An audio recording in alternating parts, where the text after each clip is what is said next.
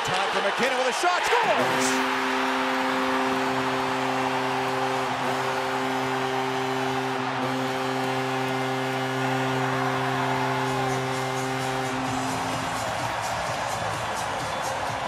the other and eventually just has all kinds of time and Mike Smith looking around Landeskog to the right and the shot ends up going to his left.